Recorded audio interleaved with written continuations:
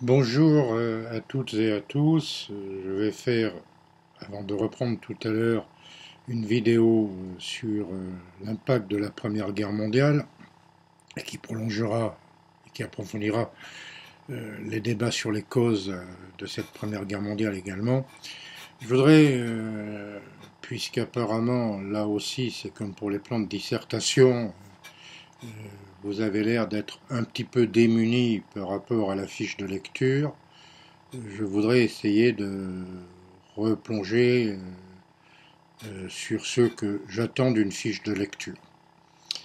D'abord, ce n'est pas un exercice criminel euh, et autoritaire. Quand on fait de l'histoire, on doit pouvoir lire.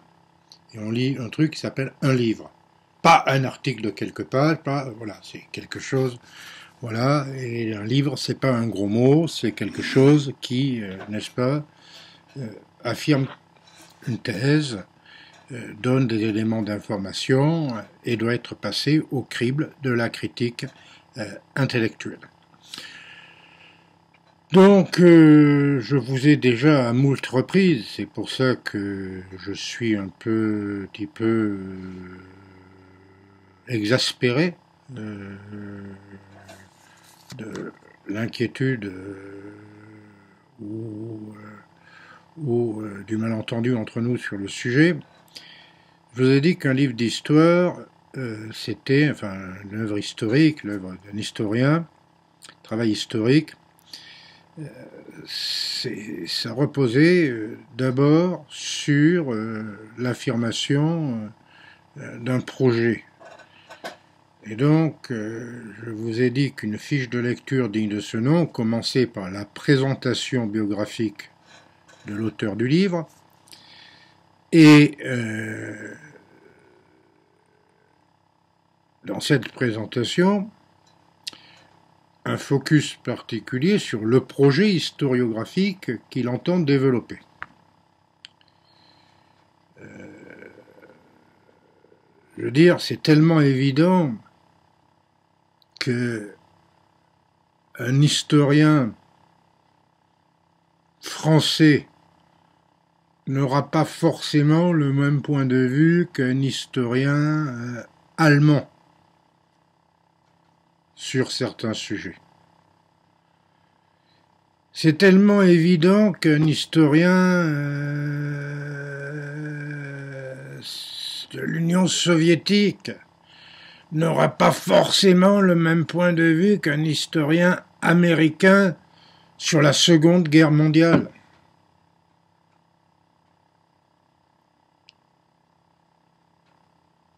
La réflexion sur la relativité de l'auteur, ce qu'il est, euh, est une nécessité. D'autant, d'autant, d'autant, d'autant que bien évidemment, vous avez une foultitude euh, d'écoles euh, historiographiques. Donc, euh, la méthode que l'on va analyser, que l'on va utiliser pour affirmer telle thèse, dépend aussi des présupposés intellectuels, de la démarche, de l'école à laquelle on se rattache ou de la méthodologie que l'on veut utiliser. Les sources peuvent être différentes. Entre un document écrit euh, et un témoignage, il y a euh, la marge et sa limite. J'écoutais ce matin une émission euh, sur le témoignage de Jean Daniel, ancien journaliste euh, très connu, et qui expliquait son séjour auprès de Fidel Castro en novembre 1963 et il était notamment présent dans la résidence de vacances de Castro quand Castro a appris l'assassinat de Kennedy le 22 novembre 1963. C'est un témoignage irremplaçable. Passionnant.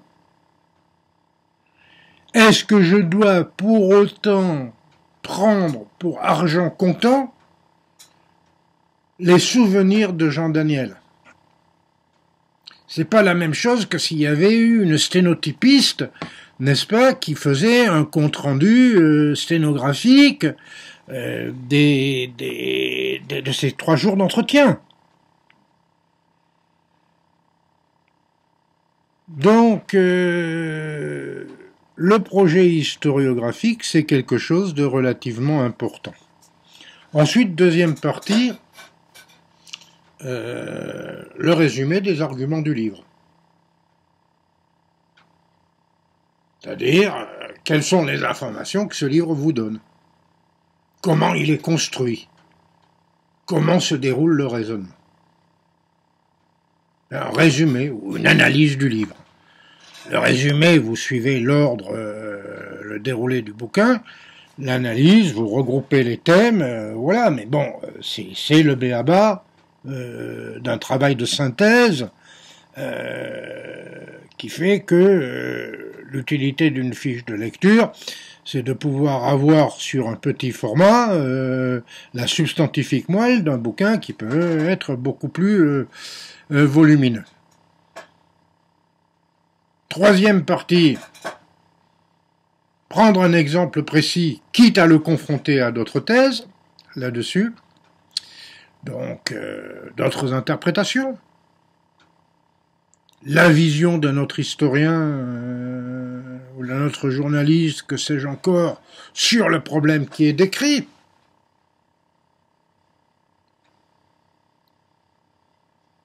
Bref, la pluralité des points de vue.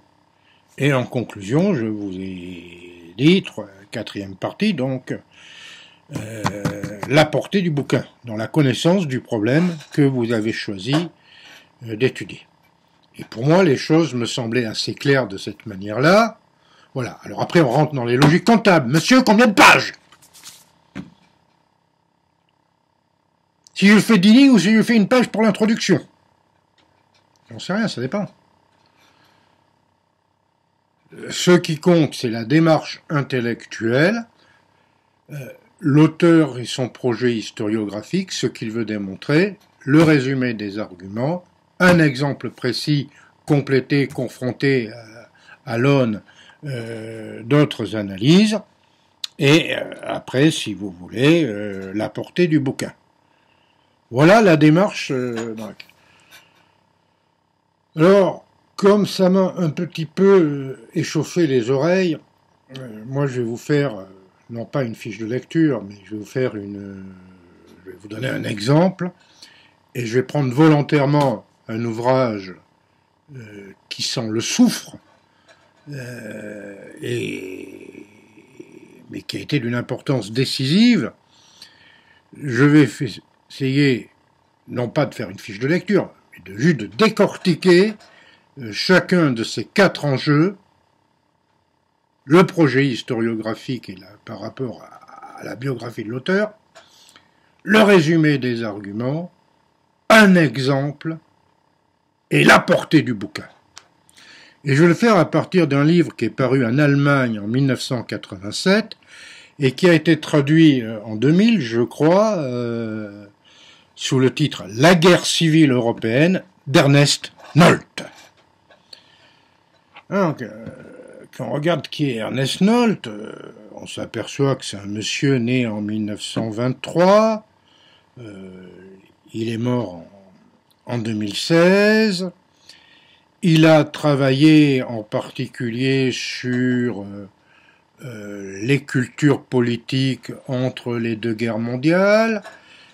il s'est intéressé et il a proposé une interprétation du euh, fascisme, tout en enseignant à l'université euh, de euh, Berlin. Il avait aussi travaillé sur un mouvement français, à savoir l'Action française, avec Eugen Weber. et il avait fait du mouvement nationaliste de l'Action française une sorte de Prométhée du, fascisme italien, voire du national-socialisme, euh, puisqu'il trouvait comme racine commune à tout ça une forme d'anticommunisme. Et en 1987, il publie donc La guerre civile européenne et euh, dans laquelle euh, il va euh, proposer une analyse tout à fait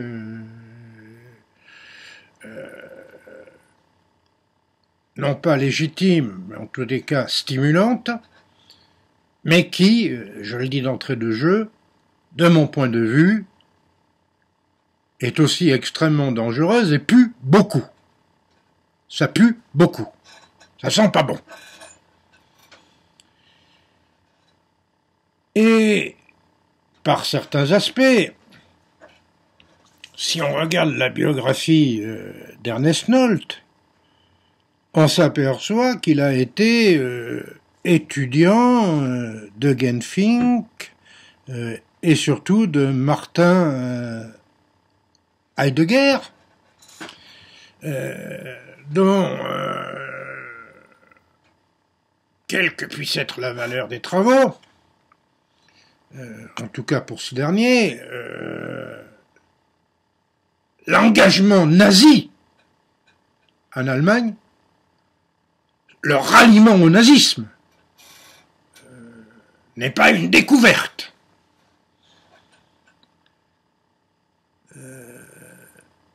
Et donc, euh,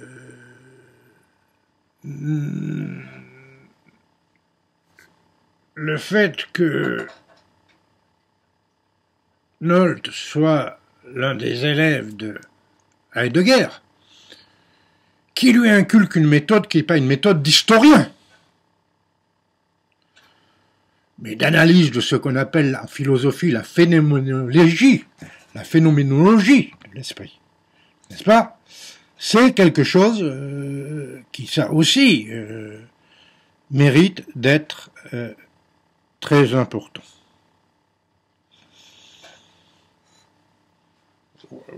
Voilà, il faudrait s'étendre davantage, mais voilà le premier point de l'analyse. la guerre civile européenne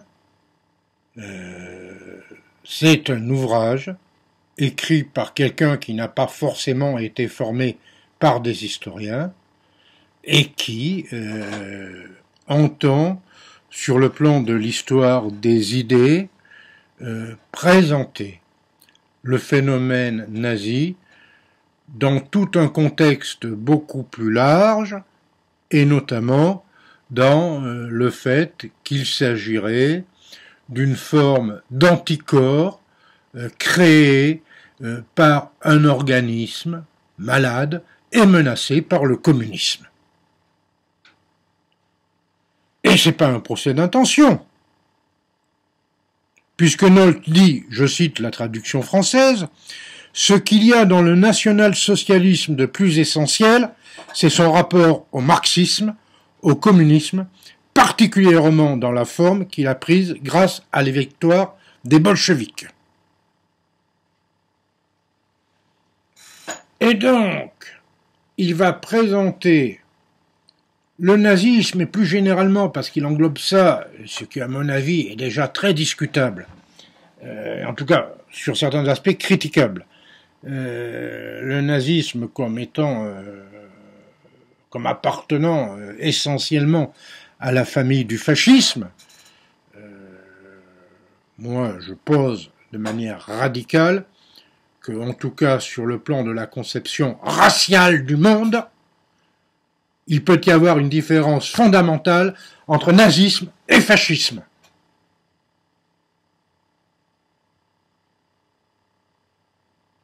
Et que les dérives racistes du régime mussolinien en Italie, pour ne prendre que cet exemple, sont la conséquence de l'alliance géostratégique entre l'Allemagne et l'Italie, mais ne sont pas présents dans le corps doctrinal du fascisme, alors que dans Mein Kampf, c'est l'inégalité des races et des peuples. Le fait que la mission civilisatrice de la civilisation aryenne et de débarrasser l'Europe des dégénérés de l'Est européen en conquérant au nom des races supérieures un Lebensraum, un espace vital à l'Est, dans le Drang nach Osten, dans la marche vers l'Est. Qu'il y a des gens qui sont par naissance indignes de vivre, à commencer par les Juifs. Donc leur attachement et l'assimilation au fascisme-nazisme, des rapprochements, oui, des alliances circonstanciées, oui. Mais sur le plan même du corpus, pas forcément euh, la même chose. Donc quand on dit c'est le rapport au marxisme et au communisme, euh, et non pas donc la destruction de la démocratie euh, libérale, en gros, ce que l'on dit, c'est que sans la révolution bolchevique, il n'y aurait pas eu de nazisme.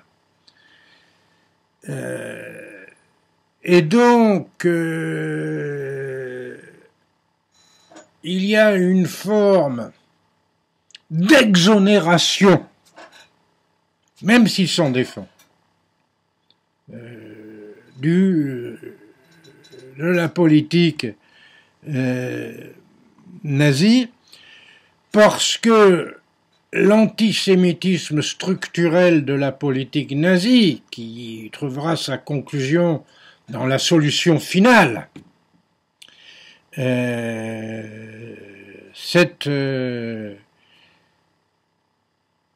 caractéristique-là, Nolte n'en fait qu'un sous-produit de l'anti-marxisme, par le biais du complot judéo-bolchevique, et après tout fait observer Nolte,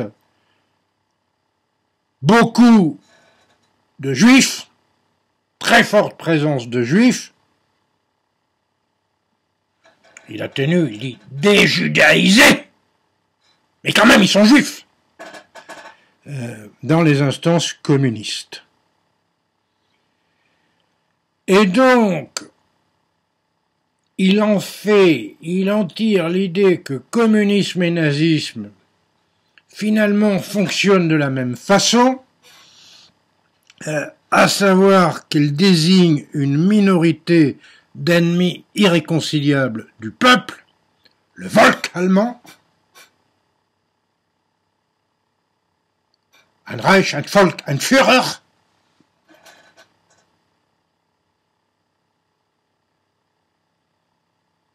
Dans un cas, euh,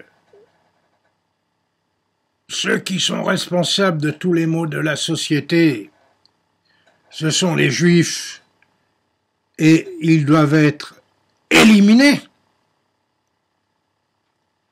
Dans l'autre cas, euh, ce sont euh, la bourgeoisie possédante qui doit être éliminée. Et donc, Nolte en tire l'idée qu'il y a un point commun, euh, consubstantiel au bolchevisme euh, et au nazisme, qu'il appelle, euh, qu'il définit comme étant des régimes de guerre civile. Et donc, on repart à partir de là sur les théories qu'avait déjà développées Anna Arendt, elle aussi élève guerre. Faut-il le rappeler? Moi, ça me gêne quelque peu quand on me parle de l'icône Anna Arendt sur le sujet. Euh, sous le nom de théorie du totalitarisme, et on met le tout dans le même mixeur intellectuel, on mélange.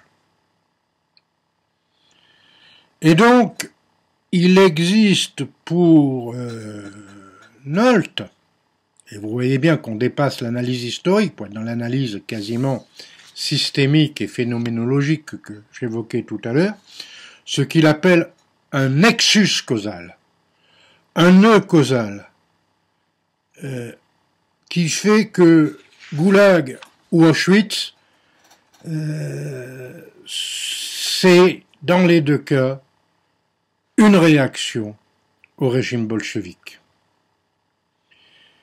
Euh, et il analyse ça à travers euh, la constitution de passions euh, irrationnelles. voilà. Il y a eu des pogroms médiévaux et qui partaient d'un noyau qu'il appelle rationnel. Les juifs assuraient la fonction d'usurier, la belle blague. On leur interdisait le reste. Et donc, l'antisémitisme, nazisme, un petit peu à la manière des pogroms médiévaux, euh, part d'un noyau rationnel qui est l'importance des personnalités juives dans le socialisme, le communisme et le capitalisme. Ben oui Quand vous n'avez nulle part où, où, où partir, qu'est-ce que vous avez? Vous avez, n'est-ce pas, soit les idées, soit l'argent. Et ce sont les racines radicales de l'antisémitisme, mais comme Nolte ne veut pas se prétendre antisémite, alors il habille ça, vous comprenez, au Moyen Âge c'était pareil, etc. Et donc, sous prétexte de refuser une condamnation morale du mal absolu que serait le nazisme, et qui est le nazisme,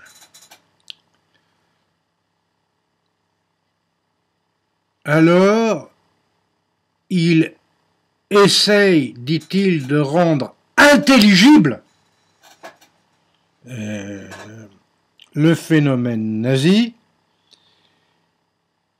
et il analyse cela dans un rapport de force qui associe régime national-socialiste allemand et régime léniniste soviétique. Donc une comparaison dont le résultat est bien évidemment que ça réduit la notion de culpabilité. Et donc l'impact de ce livre est tellement fort que dans la foulée de ce qu'on appelle, euh, excusez mon accent allemand, euh, l'Historikerstreit, la querelle des historiens, euh, qui est euh, publié euh, en Allemagne euh, dans la Frankfurter Allgemeine Zeitung en 1986, et on dans ce climat-là que Nolte publie La guerre civile européenne,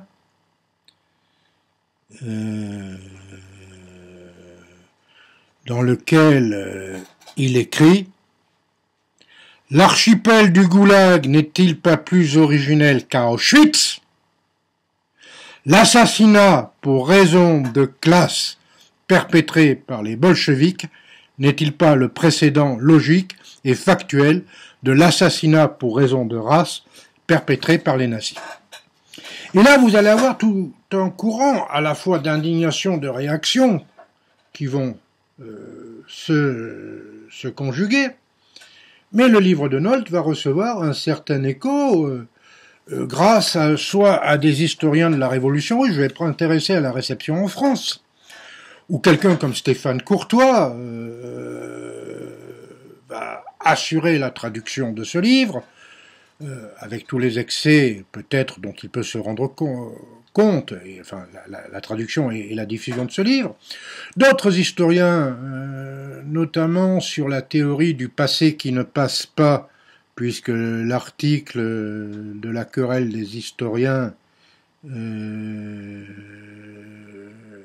que j'évoquais euh, s'intitulait donc Un passé qui ne veut pas passer, euh, en France, vous avez euh, la même chose sur euh, Vichy, le livre d'Henri Rousseau, Vichy, un, passé qui ne passe pas. vous avez sur, dans les années, fin des années 80, par rapport au bicentenaire de la Révolution française, avec les essais de François Furet dans la foulée de Penser la Révolution française, euh, cette idée de passé qui ne passe pas, euh, voilà. Et donc moi l'exemple que je prendrai, c'est cette doxa, c'est-à-dire cette vérité qu'on pose comme évidente par elle-même et qu'on n'a pas à démontrer, c'est du Thatcher intellectuel. Il n'y a pas d'alternative, there is no alternative. Margaret Thatcher. C'est cette doxa qui veut que le totalitarisme mette dans les mêmes sacs euh, bolchevisme et nazisme.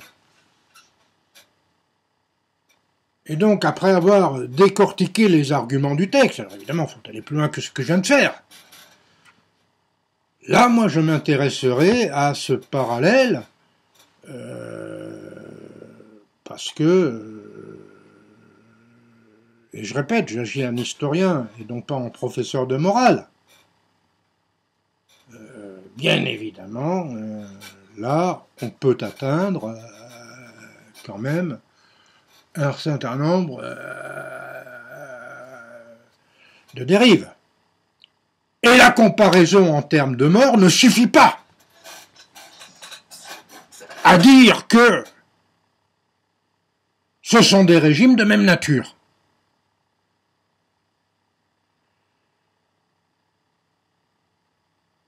Et donc, j'analyse moi ce livre qui pue qui peut être stimulant. Euh, et puis la liberté d'écrire ne se divise pas.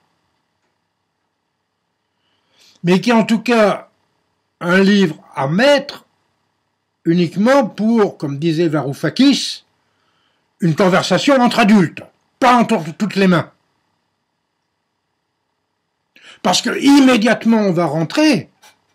Dans le débat, finalement, le nazisme n'est pas si impardonnable que ça. Si inexcusable que ça. Et donc on peut relier tout cela à toute une école historique qui a souligné euh, qu'il y avait euh, des buts euh, communs, des continuités structurelles dans la politique allemande, de Bismarck jusqu'à Hitler.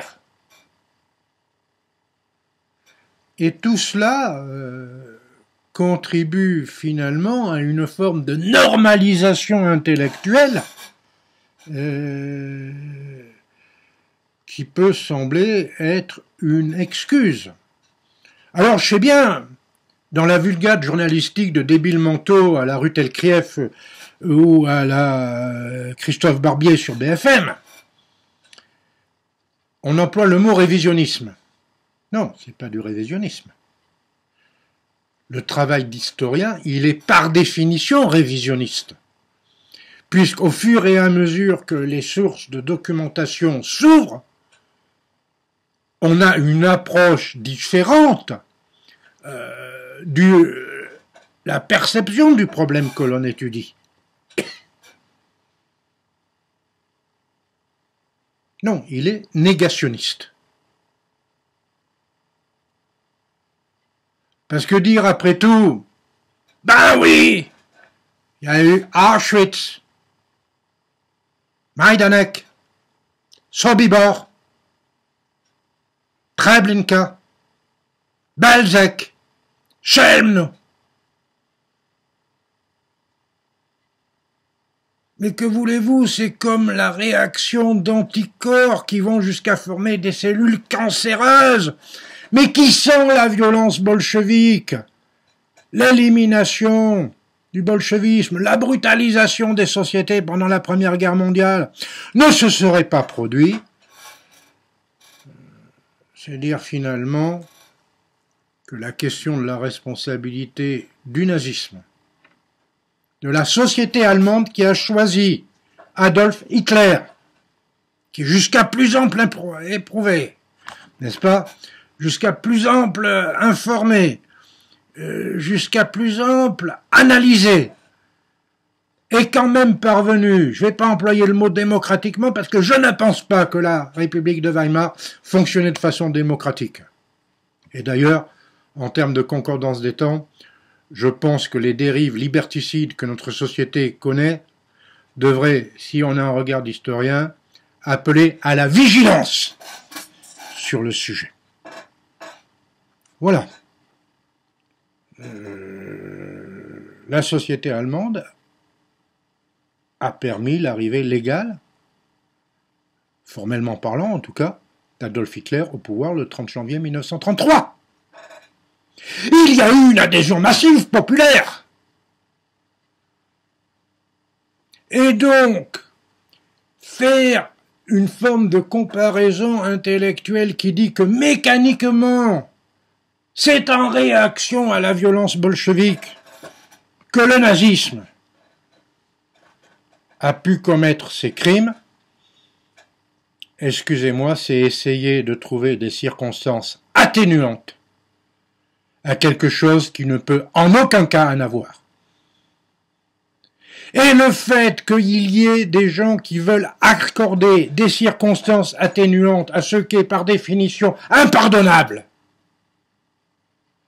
alors c'est une ligne de fracture fondamentale, y compris dans tous les débats politiques et intellectuels que notre monde a à connaître. Voilà moi comment je referai une note. Alors évidemment, j'ai pris à la SERP, euh, j'ai fait des comptes rendus dans plusieurs revues euh, du livre de Nolte, euh, ça peut se trouver assez facilement. C'est pas l'objet.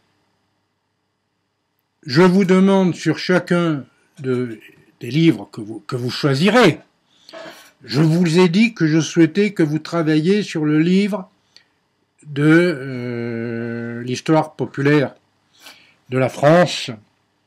Je vous ai donné les références.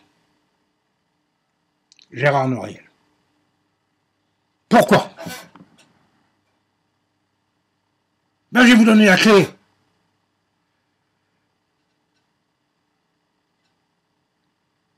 Parce que est-ce que être populiste ou populaire, c'est la même chose? Et quand on se pose du haut de son savoir ou de sa fonction, comme commentateur de la vie politique, en disant attention, ça c'est du populisme, est-ce que ça ne cache pas des gens qui ont un problème avec le peuple? Et avec le fait que notre société fonctionne de plus en plus avec des gens qui se sentent a priori radicalement exclus.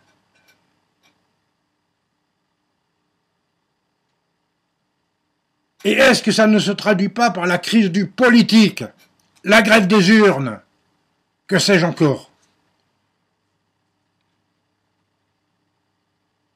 Et est-ce que parce que la volonté populaire serait à ce point-là ignorante des grands enjeux qu'il faut qu'on lui impose des choix euh, géostratégiques imposés par une technocratie? Et je vous ai dit aussi que vous pouviez prendre n'importe quel bouquin dans la bibliographie de Madame Lespinet. Et en tout état de cause, je veux cette démarche en quatre parties. Voilà ce que je voulais vous dire. Je reprendrai euh, euh, tout à l'heure quand euh, je pourrai regagner ma mairie, puisque là je suis dans mon domicile. Vous pouvez voir le bordel dans les livres qui sont là. Mais au moins s'il y a des livres, ça prouve ici que dans cette maison, on lit. Bonne journée.